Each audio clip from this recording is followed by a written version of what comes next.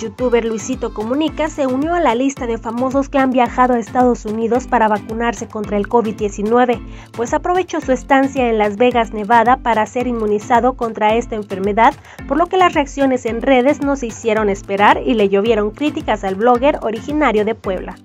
A través de diversas historias en su perfil de Instagram, el rey Palomo documentó todo el proceso que tuvo que realizar para poder recibir la vacuna contra el COVID-19.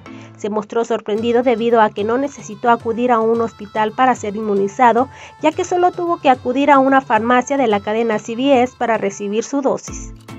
Una vez dentro de la farmacia realizó un registro y aprovechó para enaltecer el poderío económico que Estados Unidos tiene ya que asegura que en ningún otro país el proceso de vacunación es tan fácil y accesible para la población.